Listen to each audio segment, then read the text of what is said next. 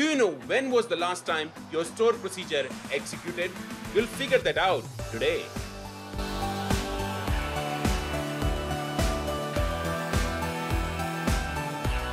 Hi there, this is Pinal Dave and I welcome all of you to this another episode of SQL in the 60 second. My clients often have thousands of store procedure. They are often confused which one of them are still valid and good for them and which one of them have not executed for a while. There is very simple way you can figure it out when was your store procedure last executed. Let's learn that today together. Here on the screen, I have very simple script. This script actually display store procedure and their execution count from SQL Server cache. Let's execute this store procedure and currently it is giving us nothing because I have just restarted my SQL Server. Now here I have two store procedure from sample database. The first store procedure I'll be executing four times and second store procedure I will be executing five times.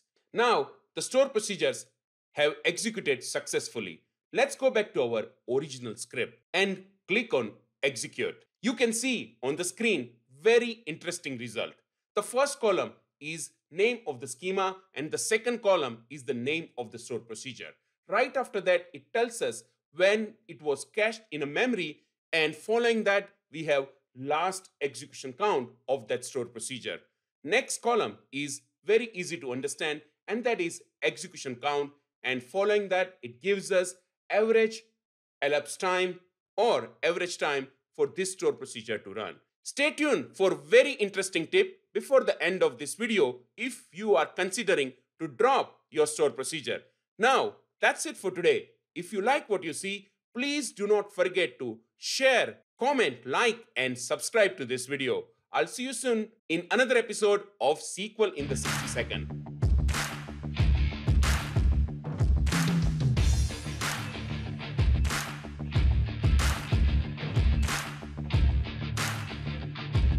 If you want to drop your store procedures, first just rename them. So if your applications are still using it, they will throw an error so you can rename them back.